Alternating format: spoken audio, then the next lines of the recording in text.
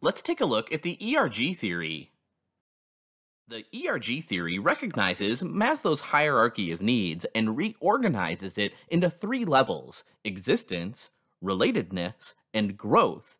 Today's companies focus on fulfilling higher level needs. The major recommendation is to meet employers' lower level needs so that they will not dominate the employee's motivational process.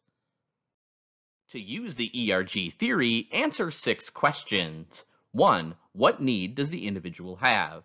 2. What needs have been satisfied? 3. Which unsatisfied need is the lowest in the hierarchy? 4. Have some higher order needs been frustrated?